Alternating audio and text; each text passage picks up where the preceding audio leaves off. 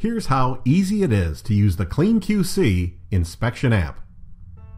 Just select the inspection at the building you want to check. A custom list of areas for that building appears automatically. Simply choose the area you want to inspect. You can change the room description if you'd like.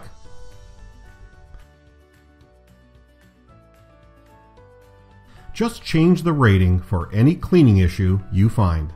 You can add a note or photos anytime. It's that quick and easy. Each room you check is called an inspect. You can add as many inspects as you like, and the total number and average score for that area appears at the top of the page. On this summary, you can see the number of inspects, and average score for each area, and the average score for the whole building.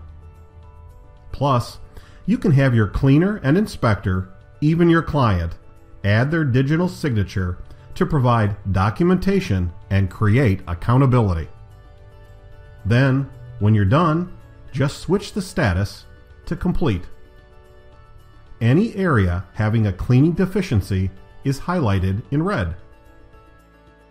Next, you can easily create a convenient work ticket showing the deficiencies to review with your cleaners in that building.